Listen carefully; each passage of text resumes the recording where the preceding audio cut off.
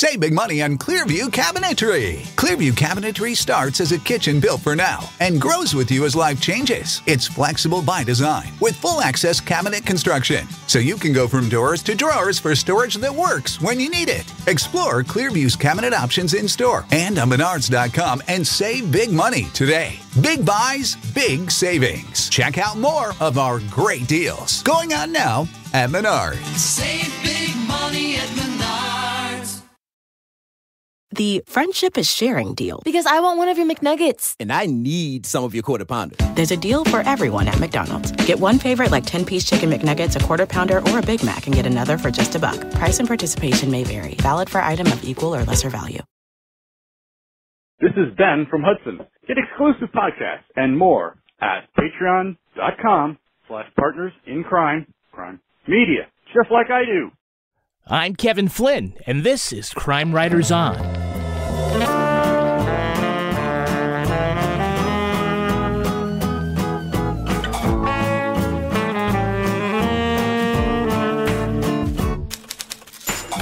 Crime Writers On is the original true crime review podcast that digs into true crime, pop culture, other podcasts, and this week, an inside look at the investigation into a string of murders that terrorized California.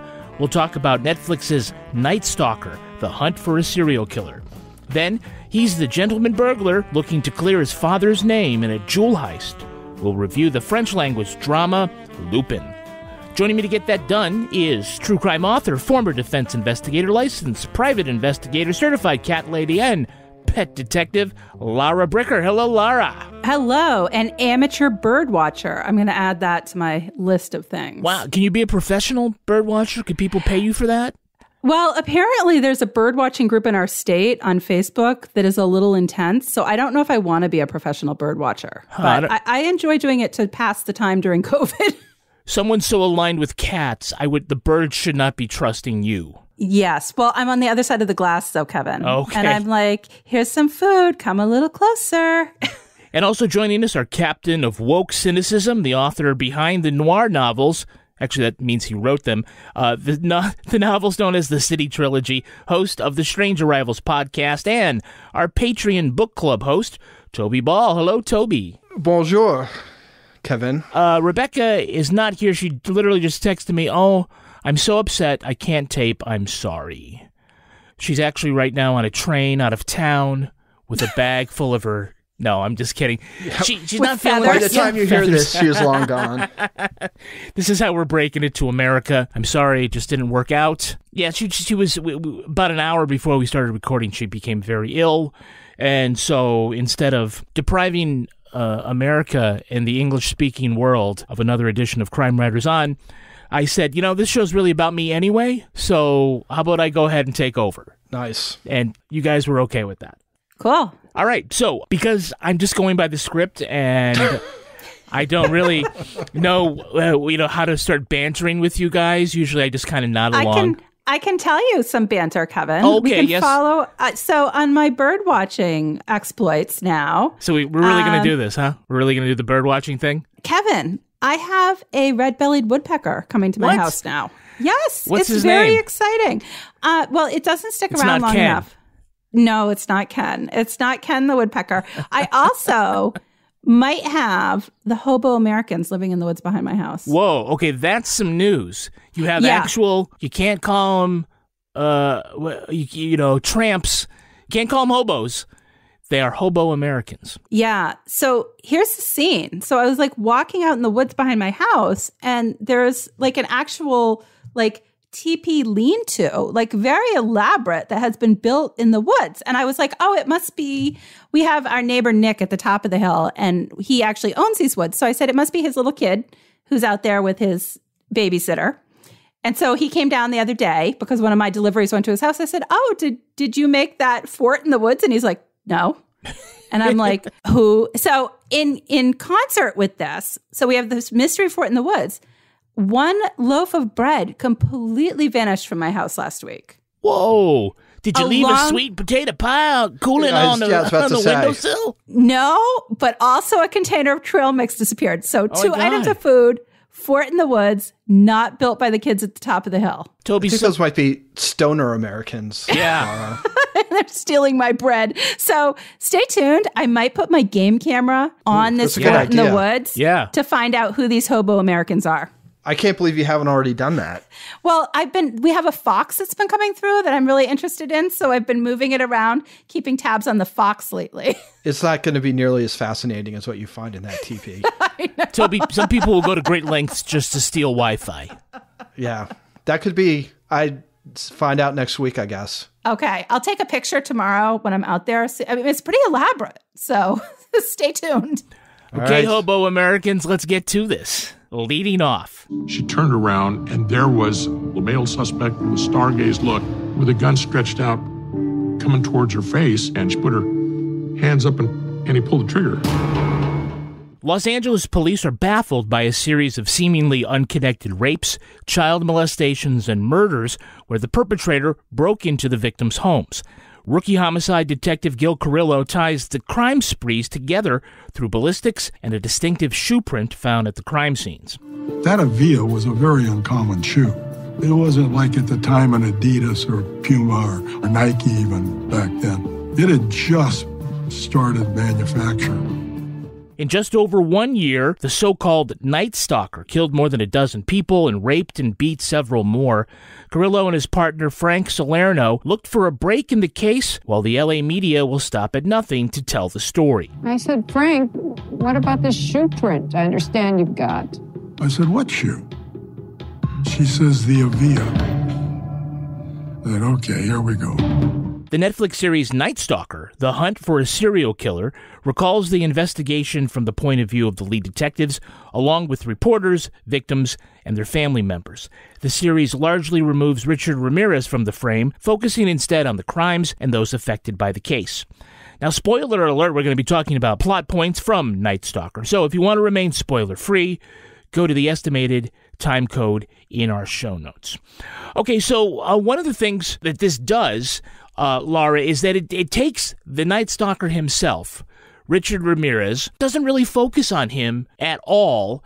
Uh, I, I think this is a conscious decision by the filmmakers to not, quote unquote, glorify the serial killer. So, can you do this? Can you tell the story without the killer? Yeah. So, you know, uh, that's an interesting question because they did do it that way. And there was a lot of focus. I mean, this was basically told as I would call it like a straight police procedural for the first three episodes through the eyes of these two main investigators, the victims in the case, other police investigators and, and crime scene people that were involved in the case and the family members of those those lead investigators in terms of you know we have the wife of Gil who's talking about you know never seeing he's working like 20 hours a day and not sleeping. And so I thought that was interesting but I also wanted personally I wanted a little more information about the background of the killer just because I was kind of curious like where did he come from? What what what happened? And i and i understand it was a decision to tell it in this way. And and it, it and if that was the mission to shed light on the way the investigation played out i mean it was extremely thorough it had a lot of information and it covered it all it did drag a little bit I think because of that, because uh, uh, you know, for for a period of time, I feel like in the first two episodes, a lot of you know, it was like just one murder to the next, and it was almost hard to keep them straight for a while because just there were so many.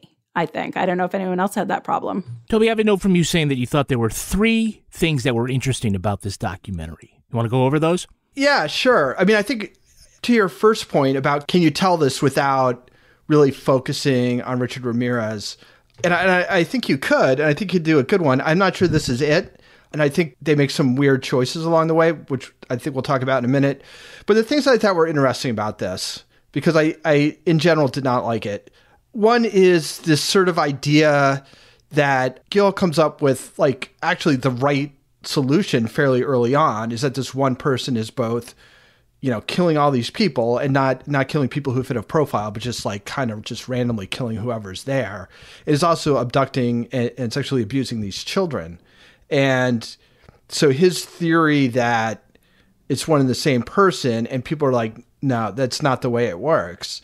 And I thought that was kind of an interesting thing because again, this this sort of idea that you can always profile somebody really effectively and stuff, and it kind of shows the limits of using what's happened in the past to inform what you're doing in the present. So that that was kind of interesting, and it also, you know, I thought was sort of more insightful about him than a lot of the other stuff that they did, which is that he, you know, he had the courage of his convictions in that case to kind of fight off ridicule and, and stick with his position or whatever, and then um, his partner saw it. So a second thing I thought was kind of interesting was just the fact that in the end, it's two kids who who basically are the keys to this thing. There's a one kid who catches the partial plate number and describes the car. That's like their first big thing. And then the second thing is the little girl who picks him out of the lineup.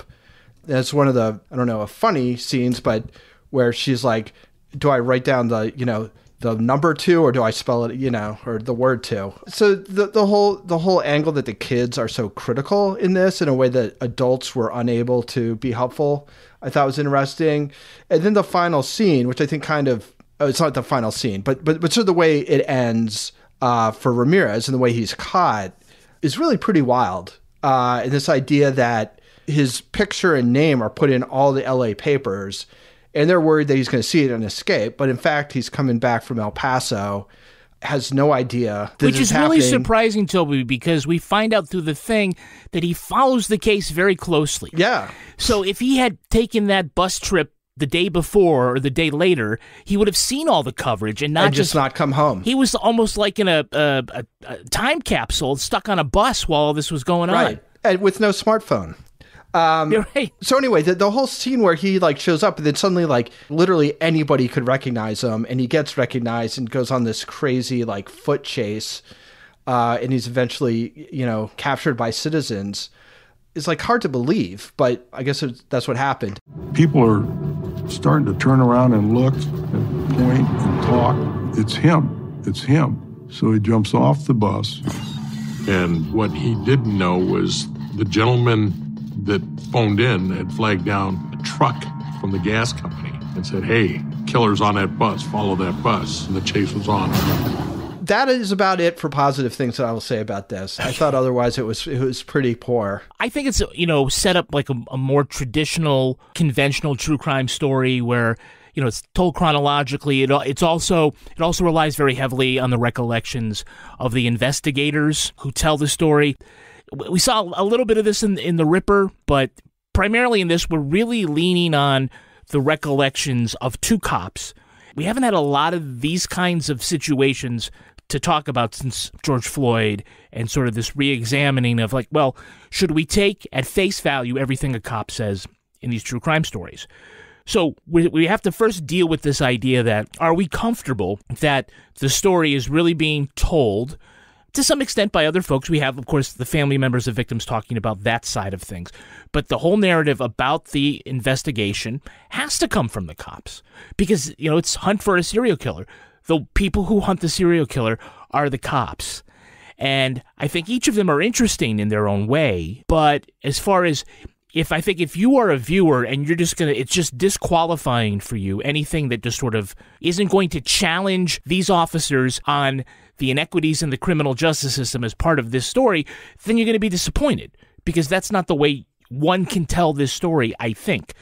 There are a lot of different ways to tell it, but I was pretty comfortable and I thought it was the obvious choice.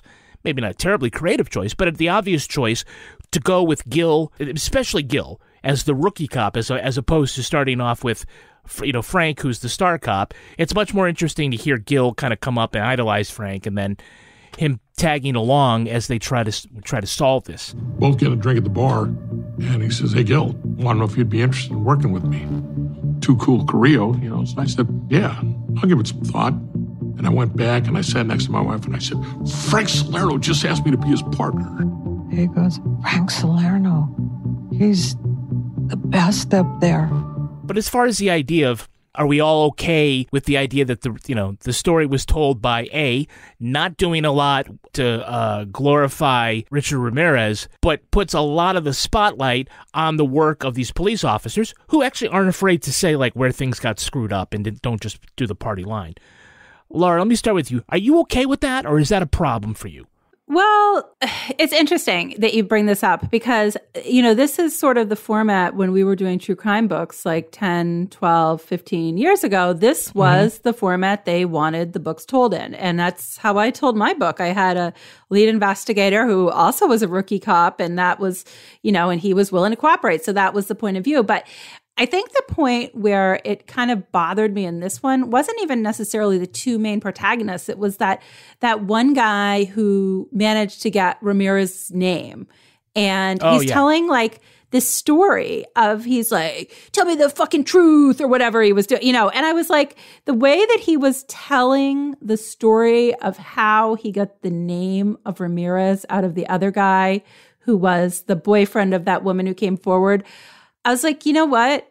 That type of story, it's like he was out back with all the old cops having a few beers and they're like, yeah, remember when we did that? But it wasn't necessarily, I didn't feel like appropriate in this time to to recount it in that way. I, I don't know if I'm describing that correctly, but I just felt Yeah. like I was like, yeah, Yeah. that was a little mm. Right. And, and know? just as a reminder, what it was, it was a cop from San Francisco who Yeah. got Ramirez's name punching this guy in the face. And I struck a short jab. It wasn't my best punch, but it definitely wasn't my worst. He touches his cheek. Is that as hard as you can hit? I looked at him and I flashed back on crime scenes the pans, the vomit, the masturbation. And I said, Pretty boy, I'm going to split you from the top of your head to your ass. Toby, I know you had issues with that too, right? Yeah, I mean, it's well, I, I think it's like this is the most obvious case of it, where he's like, yeah, I punched him once in the face, and he was like trying to act tough, and then I said, I'm gonna like fucking put my fist through your, you know, it was like sort of the tough cop thing. Like, I don't necessarily have a hard time having Gil and uh, and Frank's voices. There's just there's just very little other analysis of what happened because I think it, it it's a little hard to tell, but I, I think you could pretty easily make a, a series which is like, why did it take these guys so long to figure this out? You know, it, it, it seems like there was like some bumbling and, you know, oh, they put a panic button in the in the dentist office and it didn't work. There was just really nobody to say these like some mistakes were made or you know, it's mostly when they're talking about how things get kind of screwed up, it's Dianne Feinstein came out and, you know, said this, or they couldn't wire the panic button, or so it's always like something else is going on. in the sun. That, Yeah, and they left the pounded car it. that- you Never, know- yeah, yeah, never did the fingerprints. Yeah. yeah so it's you know it's all these things and and there's nobody who says look it took a long time. There's a lot of people being killed and people are like what's going on here? You don't with all these murders you don't have enough forensic evidence to figure this out? And, and you know it may legitimately be that they did everything that could humanly be done but there's no context because it's just them talking about it. And then the people who are the media people are like surprisingly not very insightful. You know, it's mostly just kind of their stories. Like, oh, I went here, and oh, we mm-hmm. went, we, you know, we went on the airplane, and we saw the cops. And we're like, we're in the right place. I like Um, that story. I'm sorry. It, no, it's a, it's a, it's a fine story, but it's like, did you like while you were reporting this? Did you have any opinions about how things were going? See, I liked that the part, uh, you know, maybe as a you know reporter myself, I liked that they didn't use the reporters as substitute historian, you know, talking heads.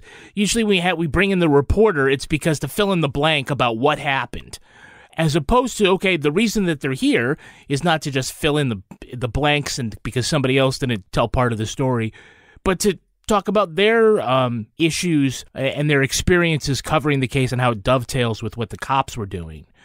But Lara, you know, we, when we talk about the Ripper, the Yorkshire Ripper killed almost as many people, I think, as the Night Stalker. But in the Yorkshire Ripper's case, that was over what, like five, six years? This was 14 months. This is there's like sometimes two attacks on the same night. I mean, uh, when you say it took a long time, that's a long time, but that's like a millisecond in a lot of these serial killer cases, right? Yeah, I was the time frame was very quick and that was the thing, you know, and I said it sort of like blended together the way that the story was told, but the fact that it was happening as quickly as it was happening, I think in the way that the story was told could have opened it up to a way to like add more suspense to the storytelling. And i felt that i felt like the same thing i felt like that rebecca and i both had issues with the ripper. It just i didn't feel the suspense as they were recounting this case. So i was like he had a lot of victims, but it was just this like straightforward with these two cops sitting in this weird bar recounting the story didn't necessarily, for me anyway, sort of convey that it was happening in this really short time period. And it was happening. I mean, the only part that I really felt that with was describing when Gil wasn't sleeping and he had been up all night and he went home and his wife was like, You need to go to sleep for half an hour or whatever it was. And he got called right back out for another murder. Yeah. So I think that time period, I think if they had, I mean, maybe, I don't know. I think it was just the way that it was told that wasn't as apparent to me as I think it should have been. Sometimes I, I you know, doing this podcast, I get my head into the, uh, the role of different production people on this on set. And I kept thinking about the location manager for this documentary who had to find bars in Los Angeles and say, hey, you, are pretty much closed from 4 a.m. until, you know, from sunrise until happy hour, right? Can we just shoot all day with a cop, you know, up against the bar and an empty shot glass there while he tells of his, you know, his uh, the glory for, days. Yeah, the glory days. You know, not since uh, the Legend of Cocaine Island have I been so distracted by, you know, the noir settings that they put their subjects in. Well, the thing that I don't know about you guys, but like I never would have recognized that second Oh. detective, Frank. Frank? Yeah. Like from the pictures that we saw and the video that we saw during the investigation, and then we see him now. I'm like, are you sure that's the same person? Uh, did you guys have that reaction? Yeah. I 100% did. Because when they first showed, it, he's with a couple of other people, and I was like, okay, which one's him? Um, you know, Gil. Gil yeah, looks, oh, Gil, you know, yeah, Gil's got a They look. both look a little better, though. I think they've aged. They both have grown Oh, into they- their yeah, look. You know, 100%. Even Yeah. Frank, yeah. Yeah. They, they've aged well. Can we- Kudos. Can we, talk about the um, use of the crime scene photos? Because if there's one thing that I've heard a lot of that people are not comfortable with the graphic nature or the, or the amount of or the use of the crime scene photos as a you know a true crime author my tolerance for that is a little higher than the average person but I would have to say that well I think I would have made some different choices with the explicit nature of that anybody else feel the same way Toby how about you Yeah, I thought it was a little bit much, and by that I mean kind of a lot bit much. like in the end, like what what was their point, right? If there if there was something that they were trying to show with those, it just kind of seemed kind of lurid and, and sensationalist. And then they do this weird thing where sometimes they have it recreated, right, so that it mm-hmm. fits in with these weird, like they go into these sort of amber or sepia toned like animations? Yeah. little things where you're in this house and there's like a fan going and you go down the hall then you see like the leg in the same position that you saw the leg in the so it's like they're actually having people recreate these crime scenes for these sort of stylized weird things. I yeah i thought it was a little bit much. And i i think my sense is is that when people are sort of turn their no- nose up at true crime a lot of it is this memory of these like 1980s like at Waldenbooks like these like Jeffrey Dahmer cannibal killer like black front with like red blood red written in blood stuff and a couple of grainy photos on the and they're just like hey these we really don't get quick to pick our covers Toby come on now Yeah. don't be a snob I'm not being a snob. I'm telling you my my impression of people's impressions. But that I think what like a lot of the best stuff that we've reviewed, if they're showing crime scene pictures, it's usually for a reason other than to be like, this is some bloody shit. Like check this out. There's there's a lot of blood and here's this body. But in this case, there didn't seem to be any other reason. Yeah. There was no other kind of talk about it. And not not even like I even go back to the Ripper where they were talking about how he was displaying his victims and that was one way they knew that it was like the same person even though a lot of time had had passed but they weren't showing you the actual like as explicit the uh, of the pictures so yeah whole dead I didn't body but it. with that little black line over the eyes Yeah. like a 1970s porno film or something like that it's Yeah, like that again, doesn't do yeah, anything it's just it's it's just it's lurid. Yeah. you know, it's it's just really it was weird. And Toby's right. The best stuff is sort of elevated true crime from above that. And Lara, what what's your take though on the production value here? Not only the graphic crime photos, but it also I think Toby's right. There's like a, this uh, weird mashup of different production styles between the archival stuff, the interviews, you know, sort of the animations, the art around the the crime photos, and then the drone shots. It just seems like a lot of different things. Yeah, But tell me about the crime photos first, and then your other thoughts. Yeah, no, the crime photos. I mean, I you know the thing about the crime photos because I had heard that before we started watching this that people were like it was like unnecessarily graphic. So I kind of went into it with an eye towards that, thinking, okay, what what's going on here? But you know, if they were going out of their way not to shed the spotlight on Ramirez, not to make him the focal point of the story, but then on the flip side, they're showing these extremely graphic crime scene photos showing blood all over the place and people in various states of, you know, where they were when they were found deceased in the crime scene. That didn't really gel for me. I was like, so we're not highlighting Ramirez, but we're going to look at this poor, like, elderly woman. And then they give this extremely graphic description of what happened to her and here she is laying on the floor or whatever. I, I don't know. I, I, I feel like the argument for including that was they really wanted to illustrate just how abhorrent these crimes were and the I mean these these were really violent, really evil, you know, compared to other things that we've reviewed in terms of serial killer cases. I mean, this was a really horrific killing spree in terms of the people that were killed, how they were killed, how they were tortured. So I, I, I think, you know, that the argument, you know, in terms of including that was we want to make sure people understand just how bad this was. But it was it was pretty graphic. Um, and but I mean I have like Kevin, I definitely have a higher tolerance than than most people I think for that. So I was just like, well, you know, at, at some point you've just become accustomed to seeing the I mean, I've seen autopsy photos and things. So it's like those things um, you know, you become accustomed to when you do that a lot. But you know the different production styles i mean it was you're right i mean i think that you know we had all these random bar scenes with with the people being interviewed and then the mashup of the older scenes it, it was okay Yeah. but i think overall i just didn't really love this documentary so And what they're Toby really they- loved was all these scenes of the two guys driving around together. Yeah, Like after all really these years, yeah. kind of intense. What do you guys What do you guys do in your spare time? Ah, we just we drive around. Well, the sun's out, we in a sit in a bar, and then when the sun Yeah. goes down, we drive around the mean streets. We streets. get freaking loaded. Go hey for at, a le- ride. at least they didn't order the fake like mcdonald's to recreate the scene Oh, man. God. Uh, all right, well then let's do what Rebecca usually makes us do. Let's That's give our uh, spoiler full reviews of Night Stalker: The Hunt for a Serial Killer. Lara Bricker, we're going to start with you. What did you think? Thumbs up or thumbs down? So I really, really tried to give this documentary a chance, but honestly, it was really hard for me to finish it because I just, I really didn't like it. I, I, I did not find it engaging. I found it hard to get into. I just, I didn't find like the story was told for me anyway, at least in a compelling manner where I, I learned something or I came way, away with a different perspective about the crime. I'm going to tell you the best part for me was the old lady that had the giant heart glasses on who I don't remember her. Uh, gave, I would like to say, the best quote of the entire documentary when she was discussing these women when Ramirez uh, was on trial, the women that all wanted to like marry him and, you know, have sex with him. And she said, I'm sorry, but I think they're the dumbest bitches ever. and, and she had these big heart glasses on. And I was like, that's the only time that I was like, ah.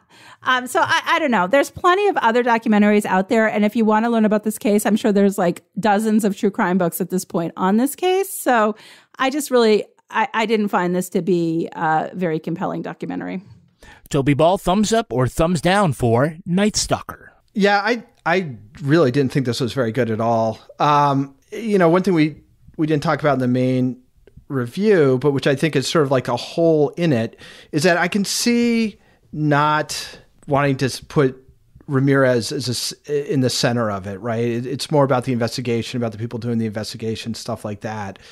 But what they do put of him in there is so poorly done, I think. Like they play these weird snippets from this interview he did, and you're not really clear what's going on, like whether it's his voice or somebody, an actor's reading his stuff until kind of the end. But it's not very illuminating stuff. It's just stuff that kind of sounds weird. And then you have other people kind of saying, you know, I was in the presence of evil, but there, there's never any sense of like who he was or, or why he did what he did, other than a brief thing about our horrific upbringing. So, you know, I can see not wanting to s- place him in the center of it, but I think you've got to do a little bit more than what they did because in the end, like he's the guy that this is all about. So, you know, that's just another of my many problems with this. Uh, I give it a pretty hearty thumbs down. I just, it's just pretty poor. I'm going to go with a tepid thumbs up. Um, I thought it got better as it went along. I agree, though, that it has a lot of structural problems. Certainly, the production stuff. I think th- think the choices there were kind of troubling. And uh, while they're trying to be tasteful by not focusing on the killer himself, some of the other choices were just a little tasteless. I did like uh, Gil and Frank. I thought that they uh, were an interesting pair. That's the kind of uh, law enforcement stories that I like to hear about. You know, guys that are working very hard to get it right and uh, are interesting in their own story. So, uh, his talking about his family life and the rough effects of having to live with a serial killer hunt day after day. Uh, that was interesting. We've heard these things before, so it's not really terribly enlightening. But as far as a you know tr- true crime story, you know it'll do. Uh, Rebecca Lavoie uh, just texted in that she is thumbs up for Night Stalker, and especially loved how he was arrested and caught, which blew her mind. And now, folks, because Rebecca isn't here, we're going to have a very awkward transition into a commercial. Do you ever meet someone who seems kind of off? Whether it's a creepy neighbor or random phone number that keeps calling you, Truthfinder has you covered. You can search for people by name, address, phone number, email, and more. Truthfinder can be especially helpful for running confidential background checks on anyone you're planning to meet from online dating apps. Go to truthfinder.com slash podcasts for a special offer. That's truthfinder.com slash podcasts to access your special offer today. Hey, honey, how was your trip to Menards? Awesome! The Menards bag sale is back. Oh, what's the bag sale? You grab a bag in store and save 15% on everything you can fit in the bag. I got a new cordless drill, LED bulbs to help with the electric bill, stocked up on toothpaste, always need batteries, and paint for the mudroom, plus all my favorite snacks. Uh, where are you going? Menards, we're out of cleaning supplies. Hurry in! Grab a bag in store now through January 14th. Get 15% off everything you can fit in the bag. See store for complete details. The friendship is sharing deal. Because I want one of your McNuggets. And I need some of your quarter pounder. There's a deal for everyone at McDonald's. Get one favorite like 10 piece chicken McNuggets, a quarter pounder, or a Big Mac, and get another for just a buck. Price and participation may vary. Valid for item of equal or lesser value. It's business time, Toby Ball, Lara Bricker. How about that music? Oh, yeah, it's their groove. By the way, in case you don't know, the music gets added later, so we don't really hear anything. Not to pull the curtain too far back and ruin everything for you. I don't even know what the music is to this day. Toby hasn't listened to this podcast since 2017. we took the Amazon list out, and he's like, I, I did it once. I'm sure it was okay. I listen to parts sometimes, but the business section is not usually like. I wonder how that went. Damn, folks, if you listen this long, you're you're in it for the business section I, too. I listen and I even listen to our Patreon stuff and like Married with Podcast has some like sexy music on it. we do. It's we like got to- bow chicka bow music. Yeah. Well, if you want to listen to the latest episode of Married with Podcast, that's available right now on Patreon. And later this week, we're going to have another episode of Toby Ball's Deep Dive Book Club podcast. And well, you have 50% of the panel is right here in this podcast. Tell us about your um, discussion of The Feather Thief. Well, it was uh, Lara Bricker, as people probably guessed, was there. Um, and then uh, Elise McGovern, who is a criminologist from Australia, and Nigel Poor from Ear Hustle. We had a really nice discussion about The Feather Thief, which is a it's like kind of a it's lighter than the usual deep dive fare, but it's it's basically about a young flautist who uh, steals some rare birds to feed his fly tying obsession.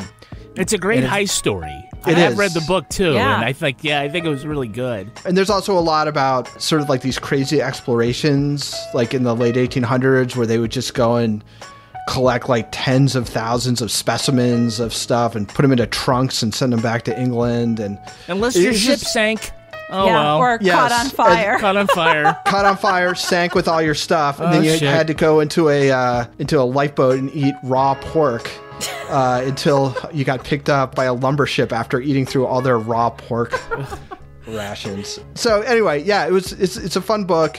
Uh, we had a fun discussion, and uh, so it should be out fairly soon, I guess. Mm-hmm. And uh, for this week's Patreon patron saints, we want to thank Mike Loomer. And because I have to have uh, Jennifer every week, uh, Jennifer Gigi Neely. Bless you. These are two great. I, these I had great conversations with these folks. Uh, uh, Gigi is a really interesting person, a former journalist, PR expert, and adjunct faculty member, and she is a supporter at the twenty-five dollar level on Patreon. So that means she gets to watch and take part in the recordings of uh, Toby Ball's Deep Dive Book Club. Wow. And Mike Loomer is our friend who is a, uh, a behind the scenes guy on movies and TV. And I can't say the production that he's working on right now, but it has sex in the title. Oh, I- I don't know. Look at Apparently Toby's doesn't have a face. lot of- Oh my God, look at Toby's face. What he's told me though I'm looking there's- into it. Yeah, apparently there's not a lot of sex actually in the show, but you know, f- uh, false advertising, I guess. That's funny. And thus concludes the business section. Moving on. Ils le mettent aux enchères la semaine prochaine. Il paraît que ça va dépasser les 20 millions. Ah so this is the Queen's necklace. Millions de SMIC. Yeah. Next week it goes up for auction. Probably gonna go for 200 million. Oh shit. It's okay, I'm sure you can afford it. In a million years. A lowly janitor at the Louvre concocts a plan to steal Marie Antoinette's necklace with the help of a low level drug gang. But this janitor is more than he seems. Assane Diop is a con man who has fashioned himself after Arsène Lupin, a famous gentleman thief and master of disguise from French literature. He uses his extraordinary talent to commit his various larcenies. No obstacle can get in the way of his plans. But his greatest talent, without a doubt, is to always be one step ahead. The Queen's necklace vanished years ago from the home of Assane's father's wealthy Parisian employer. Now Hassan uses the skills learned from his love of the Lupin books to weed out those he holds responsible. In Netflix's surprise French language hit, Lupin, we follow the suave thief's attempt to stay ahead of both the cops and the criminal syndicate who want the necklace back. We're going to be talking about plot points from Lupin, so to remain spoiler free, go to the estimated time code in our show notes to hear our reviews. Now, we also, I, I mean, I don't know about you guys, but we have a, a long standing preference on the show for foreign language fare to uh, watch in the original language and uh, re- read the subtitles. Uh, some of our listeners, uh, they can't do that because you know, maybe problems with eyesight and reading and whatever. So you do you. But if you have the choice, I still recommend watching it in French. Lara Bricker, so what is your take on Assane, aka the modern day Lupin? I thought this was great. This was the most fun thing we have watched in so long. And I sat up here right where I'm sitting now in my little room of tranquility and I watched it all in one day. It was like just a great kind of catch me as you can, smart, well played caper story. We had a lot of great location porn in Paris. And, you know, we had a really charismatic lead actor playing the role of the gentleman burglar. And I just thought this was super fun. And, you know, with regard to your comment about watching it in the, you know, original language with the subtitles, Yeah. I have to say that for me, that's something I didn't used to like to do. But the longer we've been in pandemic times and the more that I find myself doom scrolling on my phone, even when I'm watching something, it's kind of nice to have to watch the TV show or the documentary or the series, whatever you're watching, and actually focus on it because you have to read the subtitles. I, you Put know, your phone down, yeah. Put your phone down. It's kind of nice to just sit here. So this was a really fun thing to watch. I thought. Yeah. Yeah, I think you get a better sense of the actor's acting ability and their being in the scene when you even if you don't understand the language, but to kind of get the um, all the accentuation on you know the way they're delivering their lines nonetheless toby before i ask you about the show are you familiar with the character arsène lupin which i'm probably saying completely wrong but I'd heard of him. I didn't really know anything about him. yeah. So to me, if I, I find that this is a little surprising. This hit like number two trending on Netflix uh, the past week because it's it's a really interesting hook, but the gimmick is sort of like lost on American audiences. If we not, it's it's like if we never heard of Sherlock Holmes. Then Right. CBS's Elementary doesn't really play very well. So, but this is sort of you know this guy using him as as this inspiration. What did you think of that as sort of the uh, entry for this character? Uh, uh, that's an interesting question. You know, I thought it was I thought it was pretty good. Like that's not normally something that I'm drawn to in a show is like somebody like reenacts all the murders of the great serial killers or you know so, stuff like that. Like th- that doesn't really usually grab my imagination, but the idea that he's like inspired by a guy who you know does capers i guess. Uh, again i don't i haven't read any of those books or whatever but it seems like he's sort of a a trickster and gentleman thief and all this stuff. So again i, I mean i think it it kind of plays into this general sense of it being just sort of it's a fun show. I mean there's serious parts to it and stuff but it's not you know even like the sort of tragic parts don't play as like the kind of thing that's going to make you wildly depressed or anything. I mean they're just sort of plot points more than anything else i thought. So yeah. The the concept of the gentleman burglar is I think along this this series of entertainment that we've had that focuses on con men as opposed to killers uh, and that we've really enjoyed that in the podcast realm. And you know heist movies are fantastic. I mean i think this kind of takes a little bit of oceans 11 and thomas crown affair and like those classic heist movies and mysteries and who is this guy really? I think that's part of what makes it fun. Also trying to figure out like you don't know right away. You think this guy's the janitor. You, you know you're a hat and then all of a sudden he shows up at this uh, auction as a you know a multi-millionaire and what is going on? It takes a little while for that to come clear to the audience and i like that you just don't boom get all that exposition in five minutes and you realize you know oh there's a big plan going on here so i thought that that part of it was fun what do you think of our lead actor omar sy uh, french actor the character uh, of uh, Assane is uh, is he's black. He is a immigrant, I think, from Senegal. Yeah. is what his family is. This wasn't a big part of the uh, the story, but to see a black character in Europe and sort of what that experience is like, you know, there wasn't a lot of sort of contrived quasi racist things going on, but there'd be little things like when the guy from the Louvre kind of rolls his, not rolls his eyes, but kind of says, "Well, we didn't expect somebody like you." Is what do you mean somebody like me? Or just the idea that you can swap places with a guy in jail because the other guy is black and that nobody's Mhm. going to recognize him. Just like the rest of it, it's just done with a little panache. They didn't ignore that part of his character, but it didn't. Um, it wasn't performative. Lara, what did you think of uh, our our lead? Yeah. Oh, I thought he was great. I, I thought he was fantastic in the role. And like I said, very charismatic in the way that he portrayed that character. But like what you were talking about, there was like, you know, th- this was like definitely a fun, engaging watch, something kind of like a, you know, a quick binge, something that was entertaining.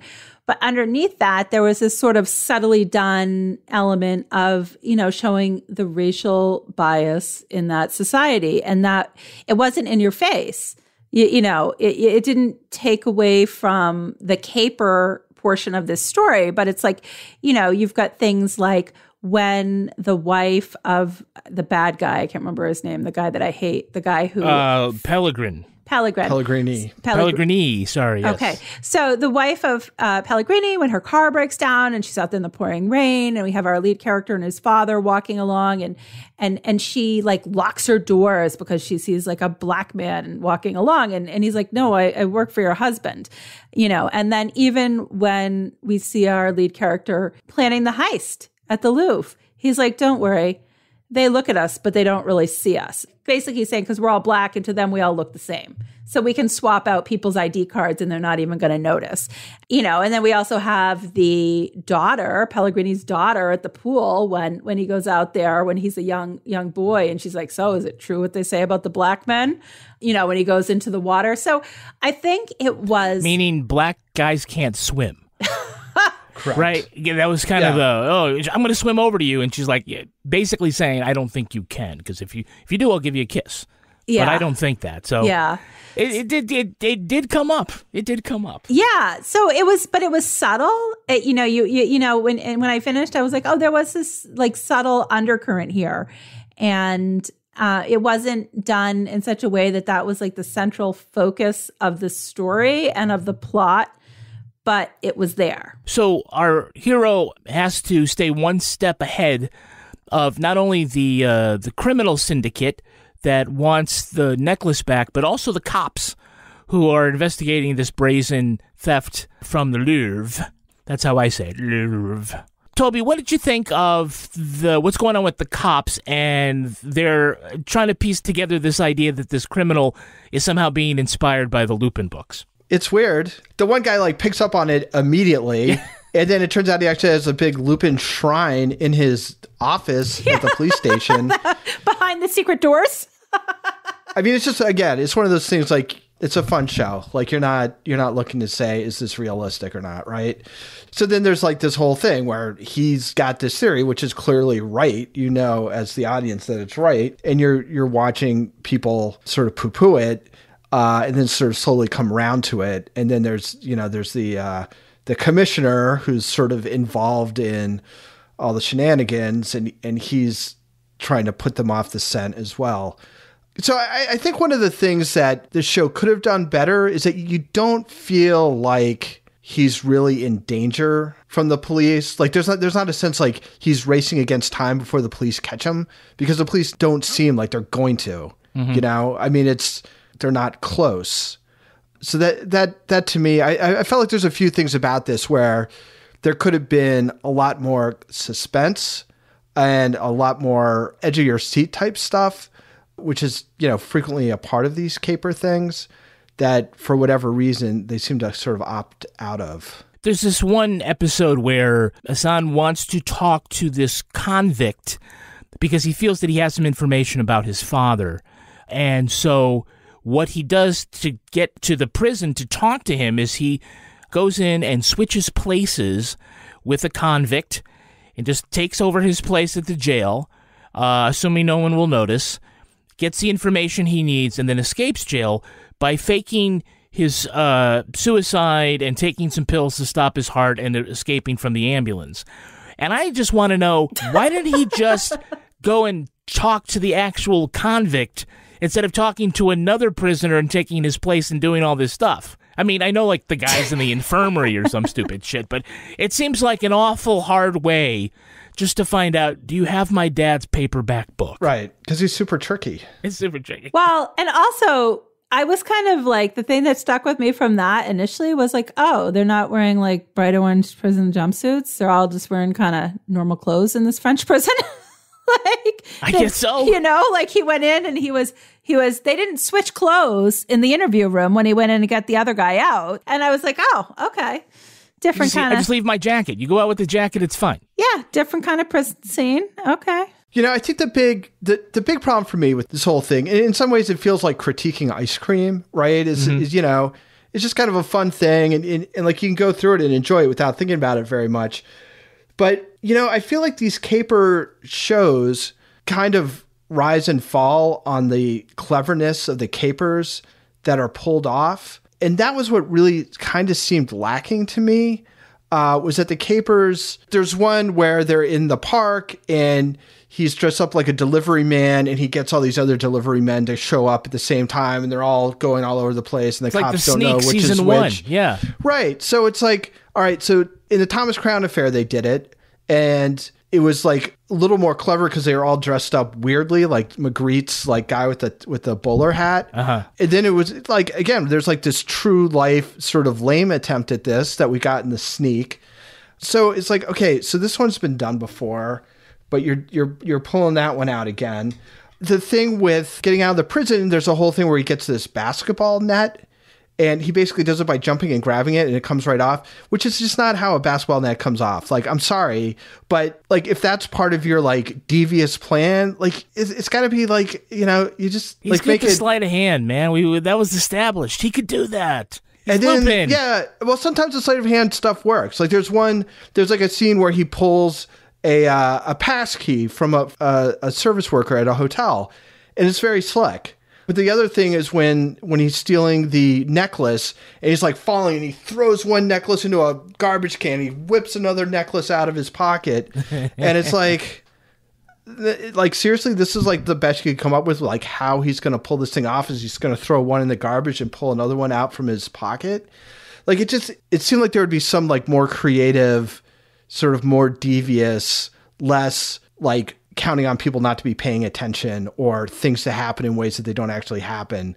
So is that like little bit of cleverness and originality that i felt was kind of missing? I felt like i'd seen a lot of these caper things before and that was what for me kind of kept it from being like this is awesome. I love watching this because it was it was missing that and then it was missing this like they're going to catch him if he doesn't get things done quickly. Like there wasn't that other kind of pressure where he, he was just basically sitting back and kind of doing these things in his time I think that the capers and the way that they were carried out were all based on the books. So that was already sort of predetermined. Mm. So he was basing the way that he was carrying out these heists based on the Lupin books, which are actual books uh, Ah. based on what I looked up. So they played basketball in france back then I don't know. I don't know, Toby, but uh, yeah. So Now it's interesting. They I, have the I mean, maybe pointer. maybe Thomas Crown stole the thing from uh, the Lupin book, but uh, Yeah, who knows? But it did from from my perspective,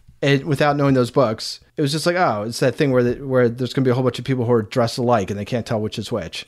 I And completely then, agree that like the what- supervisor's going to get all pissed off, stupid, stupid, you know.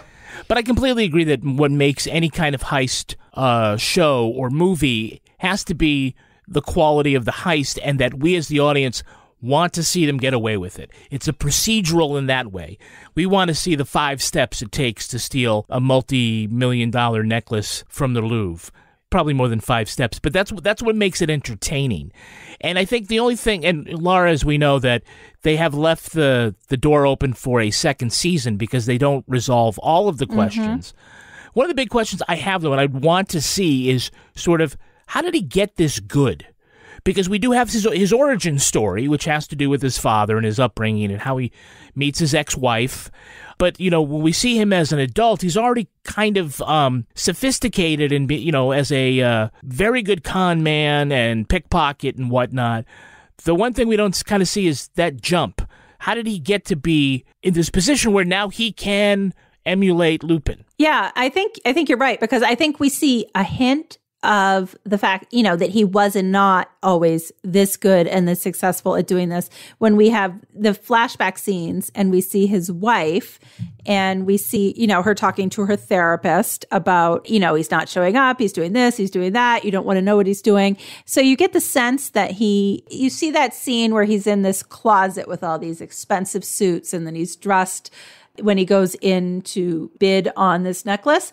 You get the sense when you later see this scene with the wife and her therapist that that was not always the case. And I think, you know, it sounds like there is a season two in the works. I, I saw something pop up today on something I was that, that it's, you know, been renewed for a second season here. So hopefully you'll find out because I, I don't know about you guys, but I liked the way that they flashed back and forth because it, it gave his backstory and added depth to the characters, but it also related to the mystery that was playing out with the necklace and avenging his father's death at the hands of what we come to believe is a fake heist by that Pellegrini guy. And I think that we have yet to see them resolve those two big storylines. I don't really know if the father has been avenged uh, yet. Uh, we'll have to see that wrap up. And of course, the other storyline, which is there, but I mean, so obvious, is whether or not he gets back together with the ex wife, which is really part of the whole raison d'etre, to use a French term. Uh, that's obviously part of what the story is. All right, so uh, why don't we do that thing that we do? Let's give our thumbs up or thumbs down reviews for Lupin on Netflix. Lara Bricker, thumbs up or thumbs down? Um, I'm going thumbs up with this. I, you know, this was just something that was like super fun to watch on the weekend. It was, what was it, like five or six episodes? And I sat down and started watching it in the afternoon and I don't think I got up until I finished just because it was it was light, it was entertaining. I enjoyed the fact that I was watching it with subtitles, which allowed me to really sort of not do what I normally do and look at 10 other things while I'm watching a show. Uh, but it was, it was just fun. There was great location porn with the locations in Paris. And, you know, it wasn't perfect, but I just thought it was a really fun watch. Toby Ball, thumbs up or thumbs down for Lupin? Yeah, I'll give it a thumbs up too. It, it was fun. Uh, I wish it had been better for the reasons I talked about earlier, but it's definitely, you know, things keep moving. Omar Sy is very sort of charismatic actor. It's fun watching him do his thing. So yeah, you know, a, a, a, solid but not raving thumbs up. I'm with both of you with thumbs up, and for a lot of the same reasons. I thought this was fun and light, and obviously not rooted in reality at all. Some of the things that he's able to do as a master of disguise, and you know, really does something that in real life just couldn't happen, and so you just have to kind of let that go and go along for the ride. Uh, you can be a, uh, a bad guy or a knight, or you can be something in between so long as that you are a gentleman. And that's sort of uh, the theme here. So to have a, uh, a light and fun and not malicious criminal, uh, that makes for really great storytelling. Rebecca Lavoie is also a thumbs up for Lupin. And now that she is not here, we're going to transition into a digitally inserted ad where she and I talk. So it's not going to be awkward at all. Roll that tape. Do you ever meet someone who seems kind of off? Whether it's a creepy neighbor or random phone number that keeps calling you, Truthfinder has you covered.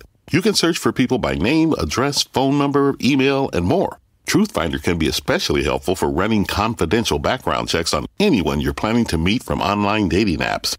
Go to truthfinder.com slash podcasts for a special offer. That's truthfinder.com slash podcasts to access your special offer today the friendship is sharing deal. Because I want one of your McNuggets. And I need some of your quarter pounder. There's a deal for everyone at McDonald's. Get one favorite like 10 piece chicken McNuggets, a quarter pounder, or a Big Mac, and get another for just a buck. Price and participation may vary. Valid for item of equal or lesser value. Hey, I'm Ryan Reynolds. At Mint Mobile, we like to do the opposite of what Big Wireless does. They charge you a lot we charge you a little. So naturally, when they announced they'd be raising their prices due to inflation, we decided to deflate our prices due to not hating you. That's right. We're cutting the price of Mint Unlimited from $30 a month to just $15 a month. Give it a try at mintmobile.com slash switch. $45 upfront for three months plus taxes and fees. Promote for new customers for limited time. Unlimited more than 40 gigabytes per month. Slows. Full terms at mintmobile.com. And now for Rebecca's favorite part of the show, a little something we like to call the crime of the week. Well, speaking of gentlemen thieves, a man had his bank robbery conviction thrown out after the New Jersey Supreme Court determined the state went too far during closing arguments. In 2014, Damon Williams passed a note to the teller asking, please, for the 150s and 20s, and thank you. A key legal point was even if he didn't show a weapon, whether he threatened the teller, which is the difference between second degree robbery and third degree theft. Well, to make her point that actions speak louder than words, the prosecutor showed the jury a photo of Jack Nicholson in The Shining, the one with his face in the door saying, Here's Johnny. She was trying to prove that sometimes benign statements can be threatening. Well, the defense objected, noting that Nicholson said the famous line after smashing the door with an axe trying to kill his family, which was far more violent than passing a polite note at the bank. Well, the court agreed, saying the photo amounted to prosecutorial misconduct and unduly prejudiced the jury. Williams will get a new trial. In the meantime, that prosecutor will have to spend the rest of the winter caretaking an abandoned hotel in the Colorado Rockies. All work and no play. Uh, so, panel, this may not be the first time this prosecutor used such a trick. In what other trial did she use Hollywood to make a point? Lara Bricker? Oh, God. Kevin, I have no answer for this. I have no idea. Toby, can you go first? Toby Ball? Uh, it- when when she screamed at the judge, "You can't handle the truth." Yes. Oh, that's a good one, Toby. Wow. You got to think about Jack. Jack's Yeah. got yeah. Something about Chinatown. Told the defense, "Don't don't worry about it. It's it's Chinatown." It's Chinatown. Stuck a, a knife up her nose, Oh. or yeah. I think it was the homicide case where she kept calling it red rum, red Yes. rum. See, we're on the we're on the right wavelength. It's all, it's all about Jack being creepy. Yeah. Lara, maybe you can contribute in a different way. Do we have a cat of the week? Actually, and I'm sorry that Rebecca's not here because this is a first, and I'm I was hoping that she would hear about this. We have a baby of the week. What? You mean like a human? Yes. So oh, wow, we've just opened the door. Oh my is- God, Lara. no, no. So uh, Nephew of the week. no, no. This is so Wednesday. I, I put a post up in the Brichter scale and I said, boy, it's a big relief today, people. How's everybody? How are you all marking the day? And people were all like, oh, I'm drinking mimosas for breakfast. Oh, I'm doing this or that. And Katie Katsikas sounded and said, actually, I'm in the hospital and I'm nine centimeters dilated and I'm What? giving birth. And Katie continued to come on and sound in on the Facebook post. And then we later received confirmation and the happy news she had just given birth to Hayden Robert Carr during the inauguration. So I felt like that Wow. was, uh, Where was the Facebook Live, Katie? What the fuck? we did have a video. In for a penny, in for a pound. Come on. No Facebook Live. We had a bit video of Hayden. Almost made me want to have another baby, but I think I'll get another cat. So, congratulations, Katie. I can't believe what a day. Inauguration, giving birth, and being on Facebook in the midst of it. Wow. So, Lara Bricker, if other people want to uh, send their labor pains to you over the socials, how can they get a hold of you? They can find me at Lara Bricker, and I'll just make a note. I will post on our Crime Writers on discussion group. We got a great recommendation last week a dog that is a foster dog that needs a home, and I will put that information up on our Crime Writers on discussion group. Cool. Toby Ball. People want to talk about how uh, many centimeters dilated they are. Where can they find you? They can find me at, at TobyBallNH. And you can follow Rebecca on Twitter or Instagram at Reb Lavoie. You can also follow the show on Twitter at Crime Writers On. I'm at Kevin P. Flynn. For some reason, she doesn't write it in the script. Uh, and I encourage you to join the amazing community in our official Crime Writers On Facebook discussion group. We also have a regular old Facebook page, by the way. You can support this show on patreon.com slash partners in crime media, and you'll get the Crime Writers On After Show, Married with Podcast, the Toby Balls Deep Dive Book Club podcast, and Lara Bricker's Leave It to Bricker podcast. Our theme music was composed and performed by Ty Gibbons. Our line editor is the very handsome Olivia Burdett. Our executive producer is Kevin Flynn and the host, and I'm doing everything this week and still getting paid the same. this show was right. recorded in the Yoga Loft above the bodega in Bay St. Louis, Mississippi studio, otherwise known as Studio C, the closet in our basement where we steal all of the jewels, just like they do in Lupin. I'm stupid. That's fucked that incredible. That's incredible. Oh, that's great. On behalf of all the crime writers, thanks so much for listening. We'll catch you later. Rebecca just requested the bowl for for next to the bed. Oh, God. Oh, my gosh. When you Poor were little, did you guys have the bowl, which is really just a mixing bowl? Yeah. Will had the bowl. We had to get a special, like, rug shampoo or vacuum for Will when he was little. What is that? Because, well, so he, up until a couple years ago, he would just, like, if there was something he wanted to eat that he liked, he would just keep eating and eating and eating. So, Yeah. like, Boy Scout camp. The kids were like, hey, Will, eat all these churros. The kids last year ate 30 of them. And he's like, okay. And then he just pukes in the middle of the night. Ugh. So we went through this for like years with this. That's like a real, you know, good mom trick thing that gets passed down. You know, here's the bowl, and then, then yeah, the next week I'm gonna make corn muffins in this.